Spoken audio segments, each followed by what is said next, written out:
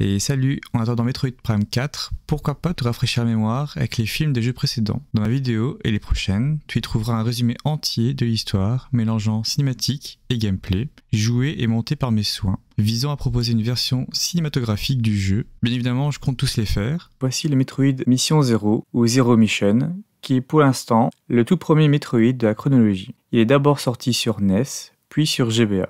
Comparé à ce que l'on pourrait croire, il y a un scénario loin d'être anecdotique, avec un petit rebondissement bien sympathique qui nous montre une Samus sans armure. Il dispose même de petites scènes animées, pas mal pour l'époque. N'hésitez pas à me donner votre avis en commentaire, n'oubliez pas de liker, partager, de vous abonner. Sur ce, bon visionnage.